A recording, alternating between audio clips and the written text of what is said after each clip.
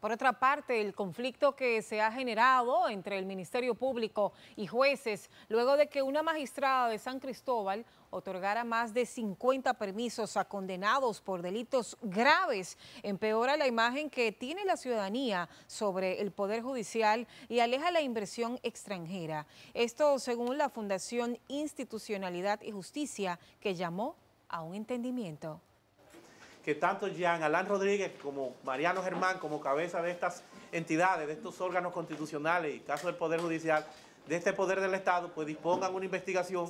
y se pueda entonces reglamentar esto. Y más allá, más aún, que es lo que estamos planteando también aquí, que se modifique el Código Procesal Penal a los fines de no dejarle un peso tan sólido, tan fuerte a un juez de ejecución de la pena, sino que esto se haga de manera colegiada, que en vez de un juez de ejecución sea un tribunal de ejecución de la pena, como están integrados los tribunales de primera instancia. Potentini calificó a jueces y fiscales como patas de una misma mesa.